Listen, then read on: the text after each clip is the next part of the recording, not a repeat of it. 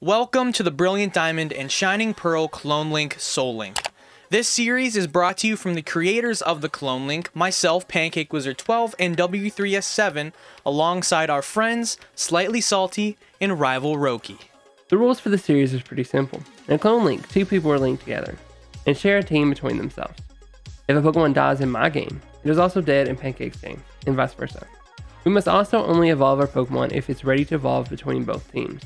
So not only are we doing a clone link, but our pairs are also going to be soul linked.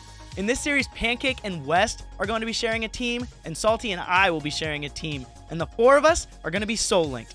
The rules of soul linked are as follows. For the encounters, we will be alternating for each person in between each soul link.